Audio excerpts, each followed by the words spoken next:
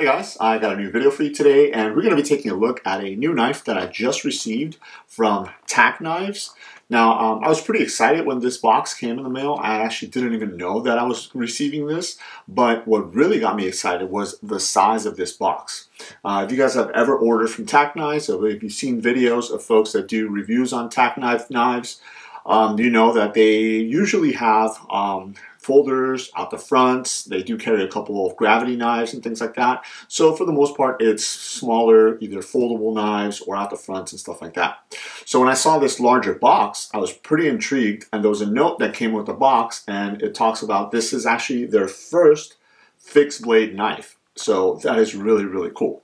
Now, again, if you've seen some of the videos, you know that TacKnife knives usually come in some really nice packaging. So if you see this is just a standard cardboard box, now the note does say that they were kind of in a rush to get these out, so unfortunately they didn't have those boxes. So just keep that in mind. Uh, if you do decide to order this knife, depending on if they decide to do boxes for them, it might come in a slightly nicer box, but if not, it'll just come in a regular box like this if you really don't care about the boxes like I do and just throw them away, then you know it's really not a big deal um, as long as everything that comes with the knife is inside of the box.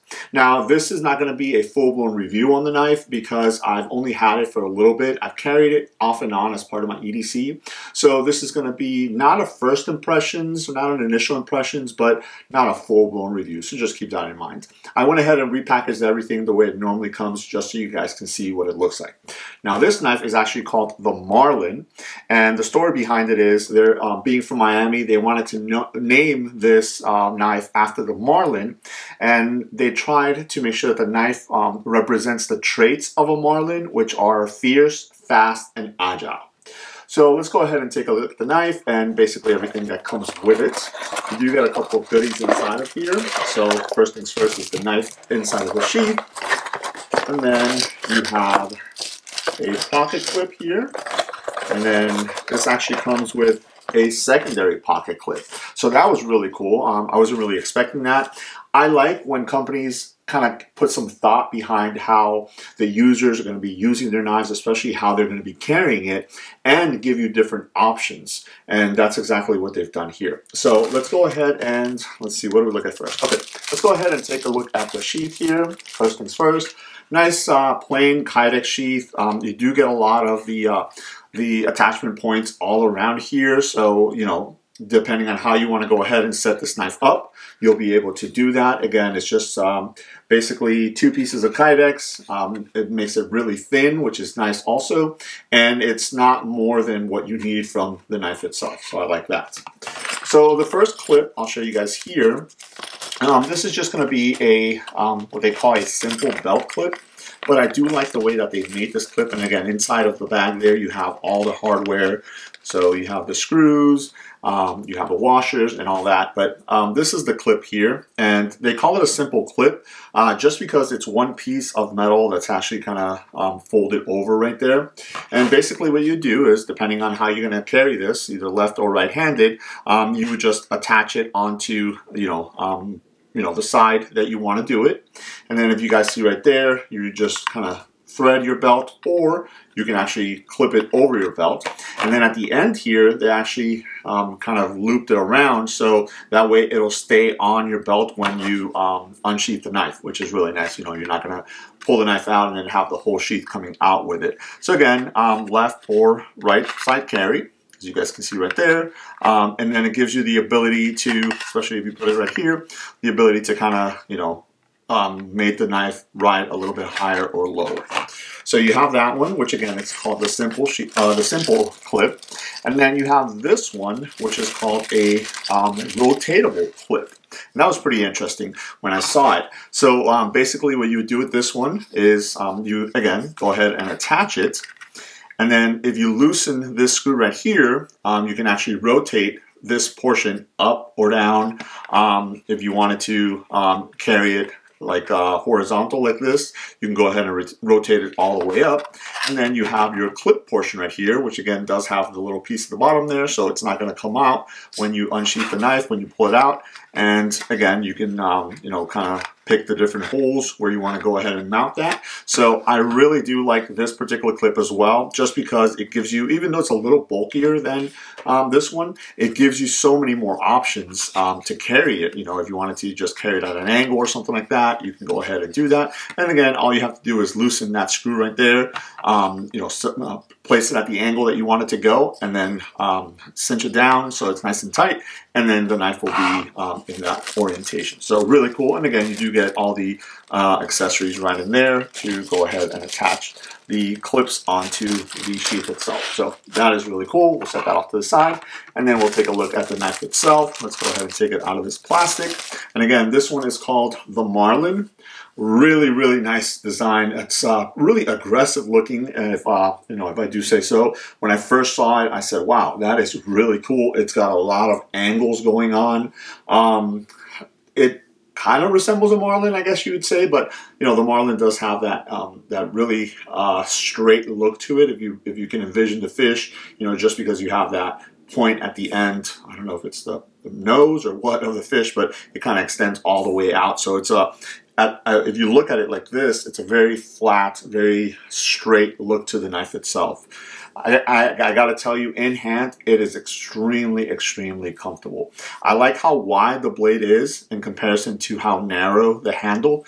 Um, but again, I have large size hands um, they are thin, but they're large, and um, I, I, got a four, a full four finger purchase on the handle, and I can wrap all the way around it, and my thumb naturally rests in this area right here where you do have that little ramp right there, and then some jimping at the back of the spine right there.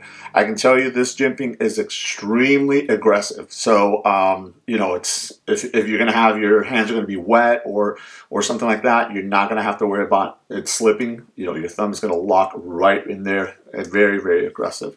Obviously, it is a full tang knife. Um, the um, blade material on this is D2. So again, um, really nice workable steel. Um, the grinds on this, um, again, very, very, very interesting grinds. Um, you do have uh, a little bit of a um, an area right here, so if you have to do some push cuts and stuff like that, very easy to do, and then it kind of sweeps up right there. So again, um, any type of slashing or skinning or anything like that, and then it does come to a nice aggressive tip. Um, it is not a very wide blade, but um, I can tell you that you have a lot of material right up here, so um, if you do have to pierce things and stuff like that, you're not going to have to worry about the uh, the tip breaking too too badly or at all with that.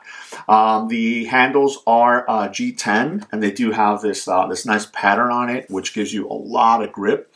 And then you have the screws right here, um, um which you can go ahead and remove if you wanted to, and maybe you know if you wanted to wrap this with paracord or something like that, you can go ahead and do that as well. And then you do have a nice size lanyard hole right at the bottom there, so you can throw on a, a lanyard if you wanted to, maybe something decorative, or if you wanted to throw something to kind of go around your wrist or something like that, you can go ahead and do that right there also. Now, what you're getting out of this knife is the total length is 8.25 inches. You do get a 4 inch blade or um, cutting edge on the blade right there. So again, um, perfect for um, just you know whatever task you're gonna throw on this. Um, again, you can you know either even angle up here and then you know to do some scoring cuts if you needed to. Uh, you can do use this uh, almost like a secondary point right there, um, almost what you get out of some of the Tantos. And um, if you wanted to use that to cut, you can do that also. So again, really, really versatile knife. Um, it is coming in at 4.9 ounces, so not heavy at all. Very, very manageable weight on this. Uh, let's go ahead and put it inside of the sheath so you guys can see what that looks like. Nice audible click no rattle or anything like that on the sheath. Again, really nice presentation there. Um, it's a very thin um, form factor, very compact, very easy to carry. Um, the knife releases from the sheath very nicely. Uh, and again, it locks in there very, very well. You do have a small little drainage hole at the bottom there. So if you do get some water coming in, it'll drain right out. So um, I think this is a really, really awesome um, foray into um, their first fixed blade from uh, TacKnives. Uh, if you guys are not familiar with them, they make some really, really awesome stuff. I'll leave a link below in case you guys are interested in checking it out. Now, um, right now, I was looking on the site and it only comes in this conf configuration. So again, the D2 stone wash blade with the um, these kind of green, olive green um, G10 scales. But I think you know, this is really cool. I really like this color combination. Um, again, you know, some folks might want something different. So depending on how good these do, they might, you know, make them in other colors, especially like the handles and stuff like that. That's pretty easy to do. But I think all in all, I, I really do enjoy the look and feel of this knife. And one last thing, and maybe one of the best things is this knife right here retails for $44.95. So sub $45 for what you're getting here, I think is a really awesome deal.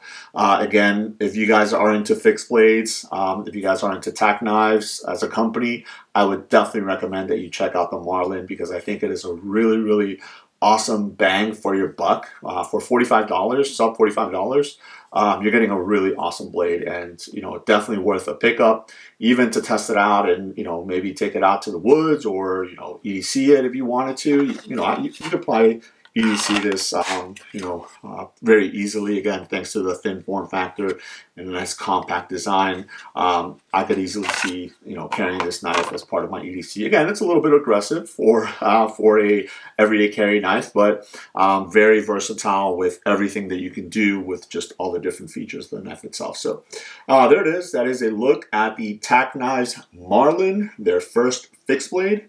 Let me know if you guys have any questions. Thanks.